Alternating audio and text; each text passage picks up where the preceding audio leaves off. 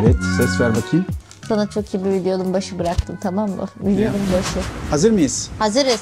Hazır mıyız? Hazırız. 3, Üç, 2, iki, 1. bir. Konuya giremeyenler podcastine hoş, geldiniz. Ben kamerayı unuttum. Ha. Gene ortam değişti. Gene her hafta ev taşıyoruz. Merak Bir eden ayda varsa. iki kere ev taşıdık. Nasıl bir histi? Yani bir buçuk ayda. Bok gibi falan. Bok gibiydi gerçekten. Bir daha taşımak Yorucuydu ya. istemiyorum evet. Evet. Bir süre buradayız Enerjimizi düşürdün ev konusunu kapat. Bu mekanı beğenirsiniz umarım. Bir süre böyleyiz çünkü. Aynen uzun bir süre. Güzel mi böyle? Umarım yani umarım bir süre gerçekten sabit bir yerde kalabileceğim. Durduk Ali Rıza'yı daha alamadık. Alacak, Alacağız onu konuk. Ali Rıza'nın annesi burada o yüzden eee, ailevi hasret gidermelerini gerçekleştiriyor. Daha sonra sizle buluşturacağız Ali Rıza'yı. Konuk listemiz kabarık ama mekanımız bir türlü oturmadığı için yapamıyorduk. Oturdu. Artık konuklarımızı da alırız. Bir süre buradayız. Manzaramız güzel. Sen daha güzelsin. Senin manzaran güzel diyecektim ben de yerinde oldu. Hazırsan Geriden geliyorum şu an sanki internet bağlantım varmış da yavaş çekiyormuş gibi. Aynı bu evdeki internet gibi. Eylem sana bir soru. Ha buyurun. Neden herhangi bir evin içinde bir tatlı varsa bunu 5 saniye içerisinde tüketmek istiyorsun? Bunu açıklar mısın? Yemekte böyle bir şeyin yok. Ama tatlı bir evin içinde bulunuyorsa senin için 3 saniye içerisinde tüketilmesi gereken bir şey. Sebep? Misafirliğe girip aldığın tatlıyı 8 kere soramazsın. Şimdi genetik bir şey. Hemen suçu başkasına yık. Şi- Benim bilmiyorum. annem de öyleydi. Ne, Evet. yani bu Yok o anlamda değil de o da tatlıyı çok seviyor. Ben de tatlıyı acayip seviyorum. Zaten yemezsen hemen bitiyor hali. muydu evde anlamadım. Ya bilmiyorum canım çekiyor işte yani bunu nasıl acı gibi. Ama dediğin gibi öyle bir salak tarafım da var yani misafirlere tatlı götürüyorsun. E yiyelim mi? Acıktı mı herkesin canı tatlı çekti mi falan moduna çok hızlı giriyorum. Çünkü o evde tatlı var ve yenilmesi lazım. Hani tatlı unutmuşluğun yoktur hiçbir yerde. Asla tatlı unutmam çünkü alırken de severek alıyorum yani böyle onlar da bu güzel şey yesin diye ama bir an önce Yani mesela yemeğe gittiğimiz yerde yemek sırasında tatlıyı ne zaman yeriz diye sormuşluğum var. Tabii. Bazı insanlar çok uzun süre bekliyor çünkü gerek yok. Bir de bazı tatlıların pişmesi falan gerekiyor. ya. Künefe yiyeceksen biraz erken söylemek lazım mesela. Çok uzun saatler orada eğer Tabii restoranda tabii bir zaten yemek siparişi verirken de mesela hani eve gelecek. Yarım saat sonra gelecek. Ben gelmeden sipariş ver. Tabii ki geldiğimde hemen hazır olsun. Anladın mı yani? Direkt yemeğe Tamam başlayabilirim. sakin ol yarım saat geç yemek yesen ne olacak yani? Doğru. Bende çok şey de yok yani. Ben de mesela yemek siparişi verdiğim saniye gelsin istiyorum. Evet. Vermişim artık tuşa basmışım para ödedim onun için gelmek zorunda. Ama işte sen de benim tam zıttımsın. Yani ben mesela böyle acıkmaya başlarken sipariş veriyorum. Sen acıkıp böyle artık miden kazınmaya başladığı zaman sipariş vermek aklına geliyor. Evet ama Onun ben o zamana kadar aç olduğumu bilmiyorum. İşte onun için de çok bileniyorsun bu sefer. Ben Nerede aç bu olduğumu yemek? Hissetmediğim için bir gün boyunca yemek yememişliğim var benim. Hani Yapıyor, çok yoğundum falan değil. Değildim de. Ama yemek yemeyi hatırlamadım. Ne yapabilirim yani? Bir sürü şey yaptım. Yemek yemek aklıma gelmedi. Ee, yapıyor böyle. Onun için o konuda biraz zıttız. Yani tatlı konusu ayrı orada ben bir ayrı özel. Hayır ben de çok tatlı severim ama yani biraz bekleyebiliriz tatlı için. Yani çünkü sana mesela Hayır ölürüm. saat başı tatlı getirsem okeysin. Çünkü tatlının midende herhangi bir yer tutmadığına iknasın. Şimdi bu bilimsel olarak kanıtlı. Yani şöyle şu kısmı bilimsel olarak kanıtlı. Tıka basa yeseniz dahi mideniz tatlı için bir kısım ayırıyor. Hani tatlı midesi ayrı derler ya. Tatlı midesi gerçekten ayrı. Bulursam makaleleri atarım buraya. Bulamayacağım ama muhtemelen. Şu an bu anlattıklarına inanıyor musun diye çok sorguluyorum. Oğlum izledim ben bununla ilgili video izledim ya. Gerçekten de ayrı. İyi de sen çok tok olsa da ben senin hiç yemek çevirdiğini görmedim mesela. Çok şişersem çeviriyorum ya. Yani şey herhalde böyle koca bir tavadan bir tane şey kaldığında ben çok şiştim demekten bahsetmiyoruz. Hocam şimdi tabağa koymuşlar. Boş mu kalsın? İyi ki uzak doğuya gitmiyorum. Bazı uzak doğu kültürlerinde tabağını bitirdikçe yeni tabak getiriyorlar. Yani doydum demek için tabağında biraz bırakıyorsun. O da bana çok garip geliyor. Tabağımı hep bitirmek istiyorum. Çok nefret Yani ettiğim bir ette şey olması mesela lazım. şey tavukta yani mesela tavuk kanat yerse herhangi bir parça bırakmıyor. Kemiğin bile bir katmanını aldığına iknayım ben. Öyle temiz bırakıyor. Yani köpek kemirse böyle iyi kemiremez. Kemirme kısmı için değil de tabakta kalma kısmı konusunda et özellikle tabakta bırakıldığında çok huylanıyorum. Çünkü şey diyorum Bal. yani e, ne? Bal da öyle. E, bir hayvan öldü bunun için bari yensin diyorum. Yani kalmasın.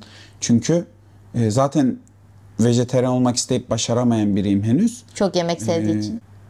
Onun için böyle et kalmasını sevmiyorum tabakta. Balda üretimi çok zor olan bir şey ve nesli tükenmeye tehlikesinde olan bir şey olduğu için o da kaldığı zaman çok huzursuz oluyorum. Bal böyle şişeyle falan gelmeli bence işte yiyeceğin kadar kullan ki gerisi kalsın olmalı. Bal konusunda da biraz hassasım. Böyle kahvaltıcılarda tabak içinde getiriyorlar ya biraz şey oluyorum. Şimdi o bitmezse huylanıyorum. Biliyorum Ama balı yaşadığım için bitiremiyorum. konuyu açtım. Bal çok yoğun oluyor çünkü her zaman bitiremiyorum. Diğerleri yemezse. Neyse eylemin ne kadar duyarlı bir öre olduğunu da belli ettikten sonra bir sonraki step'e geçebiliriz. Açayım mı bir konum var Açalım. konuşmak istediğim. Buyurunuz efendim. Bu Dökülün. geniş, evrensel bir konu. Herkesin görüşleri var. Seninkini almak istiyorum. Benim de Evet. görüşlerim var. Duş sabah güne başlamadan mı alınır? Gece yatmadan mı alınır? Çok önemli bir soru. Evet benim standardım yok ama bu konuyla ilgili. Aa, Bir tezi savunmayacağım sana. fik e, ama ne anlamı? Çünkü şöyle böyle güzel uyumak istiyorsam akşam duş alırım yatmadan. Ama sabah kalkıp ayılmak istiyorsam sabah almam lazım. Hmm. Yani sabah çok erken kalkacaksam akşamdan alırım. Güzel güzel uyurum. Ama öğlene doğru çalışacaksam falan evden çıkacaksam öğlen o zaman sabah alırım ki ayılayım diye.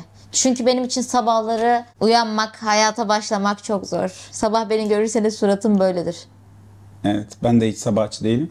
Şimdi sen biraz psikolojik tarafın, ben, ben de psikolojik tarafından gireceğim ama ben akşam duşçusuyum. Yani Akşam yatağa- duşçusuyum. Bir yatağa temiz girmeyi özellikle nevresimler yeni değiştiyse. Dün yaptık bunu. Evet. E, dün duşumuzu da aldık ve girdik ve çok çok güzel bir uykuydu yani. Ben o, Size niye verdim bilmiyorum. hayır yani temiz nevresim ve benim temiz olmam birlikte bana çok acayip bir keyif veriyor. Yani ben kesinlikle akşam duş almayı çok seviyorum. Evet, nevresimin değiştirildiği günde duşa girilmemesine inanılmaz karşısın. O girilemez o yatağa yani. Yeni değişmişiz. Niye kirletiyorsun? Ee, ama şunun zevkini de hiç yatsıyamıyorum. Gündüz böyle dışarı çıkmadan o temiz çıkma hissi. Ama yatağın temizse sen de akşam duş aldıysan az çok aynı mantıkla kalkıyorsun aslında. Bence de Eskimişlik ama geliyor. evet böyle o uyku şey oluyor ama e, ne bileyim çünkü gün içinde çıkıp zaten terleyeceksem bir daha duş almam gerekecek. Akşamdan duş aldıysam onun için böyle gündüz duş çok almıyorum. Yani zaten akşam aldıysan gündüz çok zor. Akşam çok terlemiş olman falan lazım. Tabii. Gerekmez çünkü. Ama işte orada da şey detayı var. Şu an dışarı çıktığın an kirlenmiş gibi hissettiğin için hem havadan hem de Yazdan dolayı mı? evet yazdan dolayı. Hem havadan hem kalabalıktan falan yani İstanbul'da yaşayanlar için söylüyorum. Hepsi farkındadır. Akşam almak daha mantıklı olabilir mesela yazın. Hani kışın Yazın biraz hem sabah hem akşama zaten dönüyor Evet ister yani istemez. yani zaten akşam almak zorundasın dışarıdan geldin. Sabah evde azıcık terlediysen alman lazım. O terle çıkamazsın falan. Yazı dahil etmezsek, kışı dahil edersek akşam almak daha mantıklı. Çünkü sabah o soğukta duşa gir. Bir de ben mesela senin yok öyle bir sorunun. Saç sorunum var yani kurumuyor asla. O yüzden akşamdan aldığımda sabah kurumuş oluyor ve şey yapabiliyorum. Ee, onunla uğraşmıyoruz. Saçımı sabah yapabiliyorum. Ama sabah duş alırsam fönlemem lazım, üstüne yapmam lazım. Sabah kalktığımda gene birazcık bozulmuş olacak, üstünden geçmem lazım gibi gibi durumlar söz detaylı. konusu. O yüzden akşam daha tercih edilebilir gelebilir bana. Ama aynı fikirde olduğumuz için konu çok sıkıcı oldu. Evet. Ben kesinlikle itiraz edip sabah dersin diye sen sabah ben akşam tartışırız dedim ama yine mükemmel ikili çıktık. Tüh. Wow. Halbuki Aa. tartışmakta da çok zorlanacak bir ikili değiliz ama. Bana şu kadınların tuvalet selfisi sevdasını bir anlatır mısın? Işığı güzel. Ama arka planda klozet var anladın mı? İnsanlar sıçıyor oraya yani. Ben klozet gözüken tuvalet, tuvalet selfisi çekmiyorum. Ya hepsinde yok Ee, evet ama Genelde olma işlerinde çekiyorum. Bence bir problem yok. Yani benim salonda çekmemle tuvalete çekmem arasında nasıl bir fark var? tuvalet abi orası yani ışığı evet, Niye duşu da orada alıyorsun oluyor. ama? Yani şimdi haklı bir e, nokta. Ayrıca sen o- bana sürekli ayna selfie atmadın mı flört döneminde? Sana atmam başka bir şey. Bireyselden bahsetmiyorum. En iyi çıktığın fotoğraflar. Story, Instagram'a story atma. Yani niye Ben niye tuvaletten anlamadım atıyorsun? gerizekalı? Aynadan attıkların en güzel fotoğraflarını koy bence dedim. Öyle mi? Hatırlayamadım. Aynen bana banyodan attığın fotoğraflar. Hatırlayamadım şu an geyiği ama haklı doğrudur yani öyledir muhtemelen. Özelden bahsetmiyorum ama böyle Instagram'a bilmem nereye tuvaletten... Güzel çıktın sen atarsın kardeşim yatak odasında atmam Abi arka tarafında- Tuvalette atmam arasındaki nasıl bir fark var? Bana bunu söyle. Tuvalet kabini var yani Ee, herkes sıçıyor bu bilinen bir şey değil mi? tamam niye bunu benimle paylaşıyorsun yani O zaman restoranda da fotoğraf atılmayacak. Mutfakta da atılmayacak. Güneşe bak öyle çek falan. Ya oranın ışığı güzelse orada çekilecek. Kardeşim bunun tuvalet Kardeşim olmasa mutfağı mekan... sıçılmıyor ama öyle bir detay farkı var. Bütün kirlerden arınmanı da mutfak sağlamıyor. Banyo sağlıyor. Mutfakta bir karnın doyuyor en azından oranın bir Yemek kokuyor. var. Okey. Fotoğrafta koku alınmıyor ama. Fotoğrafta Ya kokuya tuvaletin de gireceksek kakısını tuvalet. almıyor. İşte yani. E bence bu gereksiz bir şey yani. Herkes tuvalete giriyor, herkes klozet kullanıyor kardeşim yani yapacak bir şey yok. Işık güzel sonra Tamam çekilir. da kardeşim hepimiz kullanıyoruz diye. niye ben- Asansöre niye takıldın? Hani tuvalet hadi tuvalet. Aklına boku getiriyor diye. Takım asansör aynalar onlar da eşit aydınlatıldığı için güzel çıkıyor ama aşırı kullanıldı o da artık. Yani Ee? herkes her dakika asansörden Hayatım fotoğraf manzara atıyor. fotoğrafları da aşırı kullanıldı. Her bulduğun manzarada çekilmek istiyorsun ama. Mantıklı şimdi buna itiraz Yani edelim. doğal olarak asansörde de ışık güzelse çekersin. Ben bu ev, bu şeyde çok çekmiyorum mesela. Işığı çok güzel değil. Bir önceki kaldığımız yerin ışığı çok güzeldi. Orada her, her yolda çekiyordum. Bu yeni evde önde ışık olmadığı için çok güzel çıkmıyor ayna fotoğrafları da. Beni galiba ikna ettim. Ben bu konuda hiç ikna olmayı beklemiyordum. Çünkü her şeyin boku çıktı zaten fotoğrafta. Ne olacak insan? Ha, ama şöyle de bir şey var. Şuna da gireyim işte böyle tuvalette falan. Her yerde çekilebilirsiniz. Ben buna karşı bir şeyim yok. Ama tuvalette çekildiğiniz fotoğraflarda çok değişik poz vermeye çalışmayın. Ona gerek yok. Buydu benim derdim. Evet ya fotoğrafta poz veriyor böyle ama. Ya arkanda tuvalet var anladın mı? Neyin seksi pozunu veriyorsun? Hayır gene seksi pozda ver ama bokunu çıkartma kardeşim. Abartma yani tamam ışık güzel.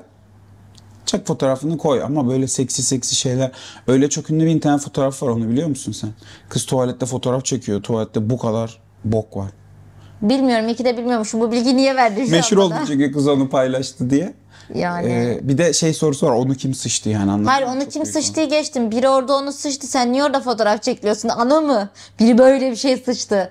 Olabilir belki. Sözde kendi selfie'si ama falan filan. Rahatsız Ne olursun yani. Bir kokar oğlum o. Evet ve durup onun önünde poz vermiş Ya anladın o poz nasıl verebilirsin? Zor şartlar altında poz verebiliyor. Büyük bir O fotoğrafı- yetkinlik. Tuvalet sizi daha seksi kılıyormuş gibi davranmanıza gerek yok. Tuvalet sizi seksi kılmıyor. Siz seksiyseniz zaten bu her fotoğrafta öyledir. Ama değilseniz tuvalette olmanız sizi böyle daha hani tuvalet kimseye seksi çağrıştırmıyor artık arkadaşlar. Yatakta poz verin mesela. Kimseye demeyelim. E, fantezisi olanlar vardır Yani belki. tamam da genel çoğunluk tuvalet gördü. O ne iyi sevişme yeri falan demez yani hani. Ne bileyim o kadar seksi Instagram'a yatakta poz verin yani. Ha, değil Daha mi? mantıklı. Havuz Ona başında. ki, ha, bari- ya da duşun içinde falan verin yani de bir anlamı olsun. Duşta çalışsın mı o sırada? Evet. Aksın mı? Su akarken şey gibi düşün hani böyle ırmak görüntüsü. Hani ırmakta sular böyle akıyor ya. Anladım da. Öyle su geliyor. Seksi olabilir yani. Hiç görmedim ama bir sürü duş reklamı var. Hepsi seksi olmaya çalışıyor falan. Öyle bir şey işte. Sen niye sanki küvetten su dolduruyormuş da kafamızdan Marşapane. döküyormuşuz gibi seksi değil. Böyle poz veriyor. kafada gözüküyor. Anladın mı? Sen, seninki saçmaydı şu an. Ben gene çok haklıyım. Of. Evet. Çok mu dertlisin haklı olduğun için? Evet, Sıkıldım. Arada haksız olmak istiyorum. Arada böyle derdim olsun insanlar benimle uğraşsın istiyorum bu ara. Hiç Ben olmuyor. uğraşıyorum. Sen sayılmazsın. Hani böyle herkesin bilebileceği bir derdim ve birazcık benimle ilgilensin. Şımarmak istiyorum bu ara. Yok hep dert dinliyorum. Yani şikayetim yok bununla ilgili de. Azıcık derdim olsun salayım kendimi istiyorum. Bu kadar dik durmaktan çok yoruldum. Salak. Neler izledik dansımızı yapalım. Okey. Gene çok ara verdiğimiz için çok şey izledik. Evet ama aklımda hiçbir şey yok gibi. Gene tazelerden başlayalım. Kulübün ikinci sezonu izliyoruz. Ne diyorsun? Bence bu, bu dizi bitirilmeden konuşulacak bir dizi değil. O yüzden bitirdikten sonra bir sonraki podcast'te konuşalım derim ben. Kulüp ikinci sezon yani ilk sezon çok iyi hatırlamıyorum ama bayağı sevdiğimizi hatırlıyorum. Bu Türk televizyon dizilerinden stream dizilerine geçişe iyi bir temsil oldu. Yani böyle draması vardı ama abartı uçuk uçuk değildi. 20 dakika tek şeye bakmıyorduk bakışa falan. Böyle orada güzel bir ara geçiş formuydu. Yani televizyon aşırı sıkıcılığından streamde böyle daha derli toplu. Ve sevdiğimi hatırlıyorum bayağı. Bölüm falan Evet. yaptık. Bu sebeple izleyin falan dedik. Bu sezon çok bana o eski Türk dizisi havaları verdi. Her dakika bir dram, o abartı hareketler. O yüzden bitirmeden konuşmayalım derim. Hani Aynen, belki bir- dramı başta verip aksiyonu vesaireyi sonra verecektir diye düşünüyorum. O yüzden çünkü onu ilk izlerken de böyle bir hani sevdim mi sevmedim mi bittiği zaman aa okey güzelmiş oldum. İlk başta onun da ilk bölümleri biraz daha olayı anlatmaya yönelik ve her şey gizem gizem gizem gizemdi. Sonradan hani açıklanmaya başladıktan sonraki olaylarla birazcık gelişti diye düşünmekteyim. İlk sezon kadar iyi başlamadı diyelim şimdilik. Bitirince yine Tekrar konuşuruz. söyleriz. Morning Show'un yeni sezonu başladı. Ben yeni sezondan bir önceki sezonlara göre o kadar zevk almadım. Daha. Kaos, kaos, kaos, kaos. Yani Bir, bir tık abartılı da başladı bir de yani bir anda bütünle gerçi bunun yaşanmış bir örneği var Sony'de. Ee, Sony'yi hacklemişlerdi. O da dünyanın en büyüklerinden ama ben de böyle bir hafif bir sendeleyerek Ya başladı bir de her gibi. şey çok abartı, bir her şey gergin sürekli yani o şaka yok, komedi yok. Sürekli böyle sadece karakterlerin değişimini de ben çok sevmedim. Yani Onun için de çok erken Jennifer daha iki bölüm diğer kız ama ah yani. İyice böyle artık özgüvenli oturdu. Egonu sikeyim senin ya. Bir yıl önce çer çöple yaşıyordun. Adam oldum böyle şımarıklık görmedim ya. Bir de dünyayı kurtaracağına inanmasın artık insanlar. Tek başınıza kurtarabileceğinize inandıran ve sizi bu kadar özel kılan şey nedir pardon? Tamam sakin. Sinirlendim. Ama yani haksız mıyım? Sen aynen haberlerde gerçekleri söyleyince dünyayı kurtardın sen. Bravo. Sakin ol. Sakin ol şampiyon. Hani hayır işimi iyi yapmak isteğiyle yapmıyor. tamam. Ben işte bir şeyleri geri düzeltebilirim. Yani siktir git. Tamam uzatmayalım. Daha iki bölüm izlediğimiz dizi için uzat. Ama karakteri sevmiyorsun galiba. Biraz. John Wick izledik dün. İzlemedik. Daha Yani bir saatini duruyor. izledik. Bayağı bir sıkıldık sanki. Yani bok çıktı artık John Wick'in devamı gelmesin yani. Adam Sadece herkesi aksiyon. öldürüyor yani günün sonunda öleceğimizi öleceğini bu bu sezon ölmüyor herhalde gene. Neyse günün sonunda ölmeyeceğini bildiğim bir karakterin sürekli birilerine vasat aksiyon sahneleriyle onları öldürüyor olması bana etkileyici gelmiyor. Aksiyon ben ilk iki ilk iki filmini sevmiştim. Hmm. Üç itibariyle böyle birazcık hani mesela sinemada git, gitmem yani. Sinemada 3 saatimi harcadığıma değmez. ya 3 saat harcayacaksam ne bileyim yani Nolan Piç'ini falan izleyeyim. Extraction'ı beraber mi izledik? Extraction 2'yi. Evet. Toro mesela Evet. onun aksiyonuyla kıyaslıyorum. Ben aksiyonu da zayıf buldum. Eski filmleri böyle miydi bilmiyorum ama işte o kadar çok adam artık dövüyor ediyor ki hazırlık süreleri de azalmıştır doğal olarak diye düşünüyorum. Bir sonraki hep arkada böyle bekliyor. Bekliyor olmam eski aksiyon filmlerinde gördüğümüz o şey var ya arkada bekliyor işte beklerken bir şey yapıyor hazır değilmiş gibi ama o döndüğü anda hazır oluyor falan. Bazı hareketler çok hantal o filmdeki şey gibi böyle hiç gerçekten dövüşüyorlarmış hissi. Bu filmde hiç geçmedi bana belki sinemada değilim diye. Bir ilk saatte sıkıldık kapattık o nedenle. Belki bitiririz. Ama Bitiririz. bir Extraction'la falan kıyaslayınca yani Yani belki biz bu arada daha kaliteli şeyler izlediğimiz için Morning Show gibi.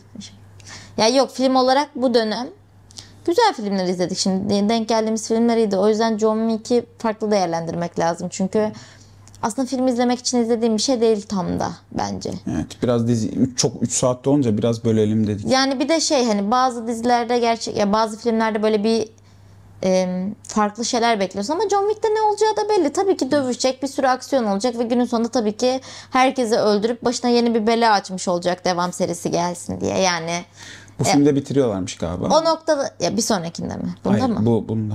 Ha inşallah ölüyor herhalde yani. falan sonunda. geldi. Bir şekilde Galiba öyleydi. O lazım spoiler'ı çünkü. yedim mi yemedim mi hatırlamıyorum. Galiba ölüyor. Neyse ar- artık ne öğrendik size onun tepkisini bir sonraki bu podcast'te veririz. Ben şeyi izledim onu onu da birlikte izledik. Nicolas Cage oynuyor, kendini oynuyor. İşte Ha, okey. aşırı yetenekli olmanın bilmem ne adı çok karışık koyarım buraya. Nicolas Cage'in filminden şeyle oynuyor. Pedro Pascal'la. İşte milyoner bir adam bunu çağırıyor doğum gününe. Bu da parası bitiyor artık filmler düzgün film bulamıyor diye. Ee, gidiyor onun yanına. Sen yarısını izlemedin galiba. Yani bütün her şeyini biliyorum aslında. Çünkü çok bilindik, çok sıradan. İşte birbirini tanımayan iki adam birinin birinden faydalanması lazım. Sonra onu öldürmesi gerekiyor nedense. Gerekmiyor işte. O sonradan o farklı bir şey çıkıyor ya. Hayır balım gerekti ya. Sonradan öldürmesi Ha bir gerekti. gerekti evet ha tamam. Sonra işte bunlar nedense 40 yıllık arkadaşmış gibi bir anda ikisi de birbirini kurtarmaya çalışıyor falan ölmek pahasına. Sonra kurtuluyorlar tabii ki. Ya işte yani bu ilk- konuyla hiç alakası olmayan insanlar nedense bunu iş olarak yapan insanları bu noktada öldürebiliyor ve günün sonunda çok mutlu bir şekilde seneler sonra bile görüşüyorlar. Yani Bence komik ilk bir saati iyiydi. İlk bir saatte yani böyle orijinalde böyle hani Nicolas Cage filmografisini biliyorsanız özellikle ben maalesef bir kısmını biliyorum. Ee, onlara göndermeler orada kendiyle dalga geçişi, o çok büyük hayranı o bu şu. Böyle güzeldi. Sonra dediğin gibi full aksiyonu başlayınca full klişeye sardı. O öyle değilmiş, o öyleymiş. O bir anda Nicolas Cage aksiyon kahraman çıktı gerçekten falan. Sonra o aynı kaliteyi koruyamadı ama o ilk bir saat falan beni bayağı güldürdü. yani dediğim gibi komedi filmi diye geçmiyor bildiğim kadarıyla. Öyle mi geçiyor? Komedi, aksiyon komedi.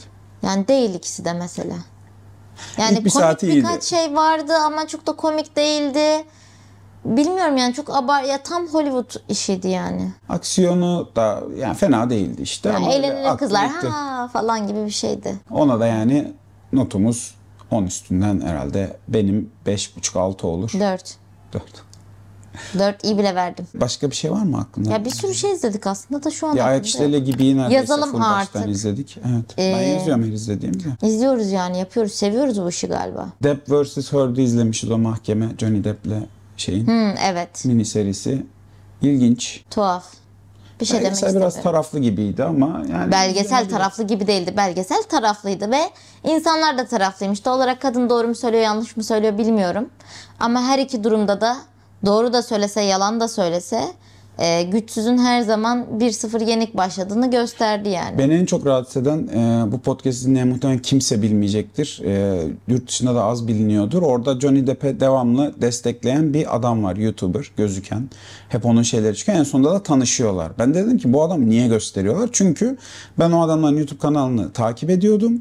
E, ve bu adam da zaten cinsel tacizden dolayı kovuldu. E sen e, bir cinsel taciz dava- davasında cinsel tacizi kanıtlanmış bir adamı devamlı gösteriyorsun bir de bize Johnny Depp'i savunurken. Çok rahatsız oldum. Her çıktığında e, şey sinirlendim böyle. Niye bunu gösteriyorlar diyorum taciz davasında. En sonunda tanıştıkları için göstermiş. Yani e, Johnny Depp de onu savundu diye gitmiş ama yani sen de masum olduğunu Yani savunuyorsan sağırlar birbirlerine ağırlar. Evet sen masum olduğunu savunuyorsan niye suçu kanıtlanmış birine gidip sağ ol bana destek Ya bir de olduğun bir şey için söyleyeceğim. şov Tacizle alakalı ya. Birini taciz etmiş herhangi bir insanla bir insan nasıl bir arkadaşlık yapar? Yani bu şey demek gibi değil. Ya onun şöyle bir huyu var kıskanç ama bana bir zararı yok diyebileceğim bir şey değil. Değil. Aynen. Yani bir psikopatla arkadaşsın sen. Neden? Hepimiz küçük manyaklar olabiliriz kendi içimizde ama birine zarar verme boyutuna geldiği zaman bir durması lazım. Yani bu Aynen öyle. konudan çok sapıyorum şu an ama yani arkadaşlar bir şeyleri safi kötülük olarak yapan herhangi biriyle hani kasti birine iftira atan, şerefsizlik yapan, işte Çok çıktık cinsel dışına, hadi. taciz yapan Dön böyle insanların herhangi bir şekilde yanınızda yörenizde bulunmasına izin vermişsiniz hadi. Bir de üzerine kendi masum olduğunuzu iddia ettiğiniz belgeselin içine nasıl koydurttunuz? Ben senin söylediklerine nasıl inanayım şu an? Onun için siz izleyin, siz karar verin. Ant-Man'i izledik. İzledik öyle komikti, güldük, eğlendik. Bir şey Marvel'ın yoktu yani. çok sıkıcıydı. Marvel bence. bazı şeyleri abartıyor. Artık bazı şeyleri de çekmeyin kardeşim. Boku çıktı. Aynen. Bir de Covenant'la Normal insandan çok süper kahraman var amına koyayım ya. aynen bir durulacak sanırım. Bence yavaşlıyor artık süper kahraman dönemi. Marvel'ın filmleri de zayıfladıkça. Umarım yavaş yavaş böyle daha düzgünleri izleyeceğiz sadece. Covenant'la o da Guy Ritchie'nin son filmi asker hani O çok iyi bir filmdi mesela. O çok güzel, yerinde, kaliteli. İlk kısmı daha uzundu. Yani birinin birini kurtarma kısmı çok bence uzundu. en büyük hatası o. Diğer kısım çok kısaydı ama ben şöyle de düşünüyorum. Yani iki tane birbirini kurtarma hikayesini o kadar uzun izlemek istemeyebilirdim. Gerek yok. O yüzden İlk kısmı fazla uzundu bence. hayır ben senin, senin aksine bir şey söyledim de anlamadın. Yani birinin birini kurtarmasını uzun süre izledik ya mesela. Tamam. Kısa da izleyebilirdik. Sonra tekrar diğer diğerini yani günün sonunda diğerini kurtaracağı belli. O yüzden kısa kesmeleri beni çok da rahatsız etmedi. Okey. Ha ikinci kısım için diyorsun. Evet yani o yüzden hani biri uzun biri kısa da olabilir. İkisinin de eşit olmasına gerek yok bence. Ben seninle o konuda hemfikir Yok değilim. şöyle eşit olmasına gerek yok. Orada takıldığım şey şu 15-20 dakika işte oraya gidip onu kurtarma ne kadar tehlikeli o olmaz mümkün değil deyip tak 15 dakikada kurtarması. O zaman o kadar ya büyütme zaten olayı. diğeri gelmeseydi kurtaramayacaktı. O çok netti de Evet. yani. Demek ki zormuş. Sonra öbürü de bir anda Amerikan ordusuyla geldi anasını Bu kadar satayım kolay falan. değilse gönderin amına koyayım ya. Bir insanın hayatı kurtarılacak yani. Ne kim? Üç insan bir de çocuğuyla karıştı. Hayır canım isminin ne olduğunu ne önemi var? Siz şu Çocuğu- efsaneler olduğunuzu bilseydim daha çok destek olurdum. Niye? Niye? İşte ben de böyle küçük şeyler rahatsız etti ama film akıyor gerçekten. Yani Guy Ritchie zaten çok tertemiz işler çıkaran biri. Onun için izlenebilir. Ee, Bu da temizdi, güzeldi. Bence ya keyifliydi. film bir de hani bitince ben bunları düşünüyorum. şey de var. Bu şey? bunu niye yaptı ki falan da oluyorsunuz sürekli. Çünkü hiç tanımadığım bir adamı saatlerce sırtında taşıdığı bir film günün sonunda yani Saatlerce değil, günlerce. günlerce Üç gün mü ve yani sıcak peşinde bir sürü insan var falan filan.